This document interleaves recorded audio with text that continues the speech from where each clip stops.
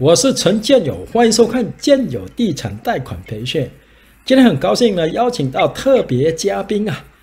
很为他高兴，一次就通过房地产考试呀，而且啊，不需要到很远的地方，就在洛杉矶就通过啦。那么他的名字呢叫做 Michael。好嘞，Michael，请自我介绍，然后顺便告诉大家呢，你是来自于。什么国家？然后啊，告诉我们观众啊，我们俩是怎么认识的？哈哈，是呃呃，陈老师好啊，呃，我叫 Michael，然后嗯，我来自国内啊，中国国内，呃，移民到美国来有有几年了，那跟陈老师也是有缘分，嗯，大概是五六年前吧，有参加过陈老师的一个呃一个地产培训的一个一个培训班。当时呢，呃，这个培训班是，呃，针对美国当地人的啊，就是 native speaker 的一个一个一个呃英文的培训班，呃，但是当时我是刚移民来美国，时间很短，那呃英文程度也不是很好，然后呢，在这个培训班上面呢认识了陈老师，但是呢没有坚持下来，没有没有完成这个培训，后来就上到一半，工作也忙，然后家庭事情也多。然后就就后来就没有上下去了，但是陈老师还是我还是呃就是很记得陈老师，然后陈老师可能也记得我，呃，跟陈老师是有缘分啊。哈哈哈。啊，首先我问你一下，你是哪一年来美国的？我是二零一三年的下半年。哦，OK，呃，你是哪一年呢？上我的执照课程，那个时候我知道说你没有完成。对，应该是二零一五年的上半年，应该是啊。啊，你以前在中国大陆有学过英文吗？呃，英文就是一个就普通的水平啦，就是呃大学出来的这个普通的一个水平啊。所谓的普通水平啊，因为我对中国大陆的系统不太理解。有人家说，你假如说上过做这个英文六级的话，那你英文水准应该不错。你有没有上完六级啊？没有，没有，我是四级的水平啊。OK，OK，那我可以理解为什么当时呢？啊，你上我的英文课呢，好像听起来有一点吃力，所以这个我完全能够理解。对，因为陈老师您这个课呢，主要是针对当地的学生的啊，看很多还我估计还是大学的在读学生，他们都不是移民，他们都是 native speaker，所以呢，陈老师也不可能呃，就是照顾到我其中一个的这样移民学生，所以呢，那个当时是是觉得有点吃力，没有没有完成这个培训班。OK，那你自从上了我的课程了之后，呃，你后来为什么又决定呢要去考取地产执照？呃，因为这样的，就是去年是 pandemic 期间呢，呃，工作的任务没有那么繁重，然后呢。呃，总想着呃要把这个完成，因为有一点呃时间嘛，所以我就跟身边的一个朋友，也是跟我差不多岁数的，一起商量看考一个什么执照，我们就一起想到了这个这个执照班。然后呢，他的英文程度好一点，他就比我早一个月考过了。他他是在南美洲上的高中，英文的环境里面，他们那个英文程度好一点，所以他早一点考，早一点考过了。我就比他约到晚一一个月，所以我也好好准备了两个月，把把这个考试考过了，很高兴得到陈老师的帮助。呃，尤其是呃，我在视频里搜索，就 YouTube 里搜索，搜搜到你的视频，然后呢，我收到你的视频都是就是系统的，呃，开始学习了从零开始这个四十三级，以及看了你这个十七级的这个考题试炼，我觉得就是很有帮助。我是没有看一页书了，一页的那个。Principle 的这个书都没有看，然后就是完全从你的视频学习，呃，得到帮助，然后考过的啊。啊，你当时这第一次啊上我的课程的时候，我是有给你一个呃课本对吗？对对对。那课本后来还存在吗？呃，有放着，但是这次准备考试没有看。嗯。是单看视频，把视频作为一个课本来看吗？还是怎么样？是的，就是呃这个系列啊，四十三集的从零开始，我是认认真真的看啊，认认真真的看每一集的看，我是看了三遍啊，我每一每一次呢我都有加快，我第一次应该用的是一点五的倍速，然后第二次应该是用的一点七五，呃第三次也用的是一点七五的倍速来看，然后呃因为每一集都大概是十五到十七分钟这样嘛，然后呢，我我因为平时工作生活比较忙，然后我就很难有一整块的时间。那您的这个四十三级的从零开始呢，我觉得对于我这种情况，就是可以有一个就是利用碎片时间来去学习。比如说我有十分钟，我就可以看一集。那我自己呢，我把呃你每一集下面的那个每个视频下面的 description，把它下面的那个重点的那些单词句子，我都复制下来，放到一个 Word 文档里面。我又打印出来，大概是二十页，然后我就把这个作为我的课本了。那你如果遇到有什么觉得重点呢，或者说有不理解的，需要用中文去注注解一下，我就会在边上写上。那这这个就相当于我的课本了啊。那我想请问你，当时你在 YouTube 是无意中搜索到我的视频呢，还是说你就找我的名字，然后找我的视频啊？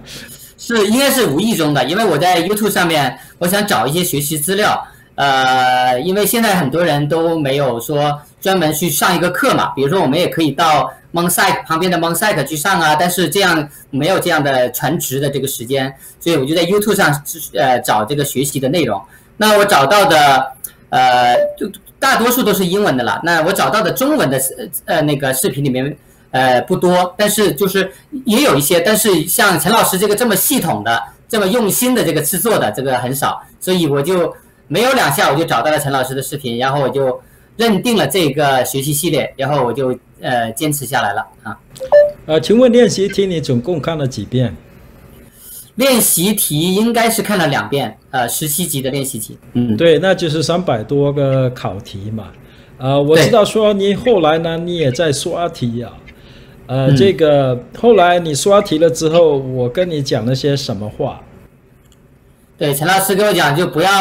花太多时间在外面的一些试题，因为，呃，现在考题也是有变化的。原来的一些类似的考题呢，不一定在新的这个考试题目里面。然后基础很重要，只要掌握了这个基础的这个这个重点，还有基础的考点，那没有必要花太多时间去刷题。那我觉得陈老师这个建议呢很好，因为我的实际考试里面。呃，我觉得跟我们之前的这些考题，呃，相似或者相同的很少，呃，大多数都是就是一些新的一些题目类型，但是呢，考点都是这些，重点也是这些，所以说陈老师强调的，把这个呃基础打好，把呃重点把握好，那去考的话就会得心应手啊。我想请问你，你总共一百五十题，总共花了多少时间把全部一百五十题全部答完了？呃，我我这次考试呃，应该剩了大概有十分钟左右吧，我应该用了一百七十分钟左右把它完成了。所以呢，这这次的考试呢，呃，对于理解方面啊，可否给我们一点概念呢？对你理理解了，你大概理解程度多少？呃，其实呢，嗯，大多数考题都是都是理解的，但是呢，呃，在这个问题里面或者答案里面会有一些。呃，一些词汇或者词组跟我们呃学习的课本或者说我们学习的内容里面会有不一样，它就对可能你整个的英文水平的要求会比原来要提高，因为它也也可能是限制通过率吧，或者增加难度，它把一些词汇会有用一些呃意思相近或者相同的一些其他的词呃单词去代替去做一些掩护，所以呢，就是让别人会多一点陷阱。那那对于我们这种呃移民的背景的这个考生来说，就会有增加一点困难。但是我觉得只要是把这个基础打好，那应该也是没有问题的啊。我打个比方，就是关于那个呃房地产的价值的改变的那里有三个阶段吧，一个房地产有三个阶段，一个是呃就是发展阶段，一个是稳定阶段，一个是呃退化阶段。呃，我记得陈老师呃我们课堂用的单词都是呃 integration。还有 disintegration，那它里面都没有用这些词，也没有用陈老师您给我们建立的那个对应的单词，因为这三个阶段有六个单词，它都没有用用到，但是它就是表达这个意思，就让你来选，所以说对于我们这些考生来说，就是就是难度会增加一点啊。你有没有任何一个时刻是有点恐慌啊？一定有，一定有，因为它的题目有很多是以生活中的例子作为题目的。那你就要呃阅读量很大，然后呃，因为我们我我算了一下，我们每一题大概只会有一分钟左右的时间去做。那如果我们包括读题，包括在思考，那这个时间就很紧了。那在考试里面，我们遇到一些陈老师之前讲过的重点，让我们在考试里面呢，呃，大概当你看到这个题目，你可能五秒、十秒钟你就能答出来的这种，就能节省一点时间，节省就在这个题上你就节省时间了，你整个考试你就能镇定很多。所以说，当遇到了这些陈老师您比较嗯强调的这个重点，这个题一看上去就能知道答答案的这种，那我一下就就镇定下来了啊，因为因为就感觉能节省一点时间啊。你当时去考的时候有没有做什么心理打算？说反正这次没有通过，我再去考，还是什么样的想法？